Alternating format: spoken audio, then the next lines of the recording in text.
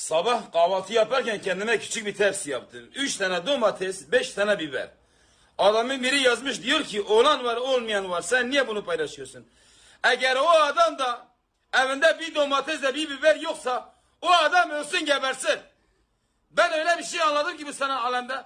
Pohunu yap, tabağa koy, paylaş, yine kıskanırlar. Lama altı üstü üç tane domates, beş tane biber ne?